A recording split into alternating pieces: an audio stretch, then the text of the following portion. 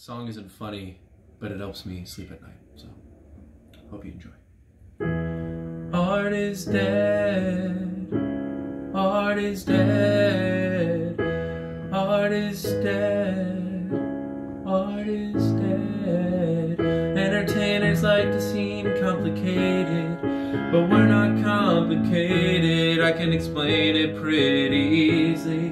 Have you ever been to a birthday party for children and one of the children won't stop screaming cause he's just a little attention attractor when he grows up to be a comic or actor he'll be rewarded for never maturing never understanding or learning that every day can't be about him there's other people you selfish asshole I must be psychotic, I must be demented for thinking I'm worthy of all this attention, of all of this money you worked really hard for. I something late while you worked at the drugstore. My drug's attention, I am an addict, but I get paid to indulge in my habit.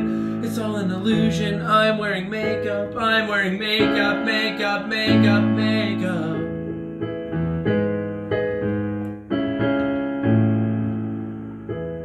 Art is dead, so people think you're funny. How do we get those people's money? I said, Art is dead. We're rolling in dough while Carlin is rolling in his grave, in his grave, in his grave.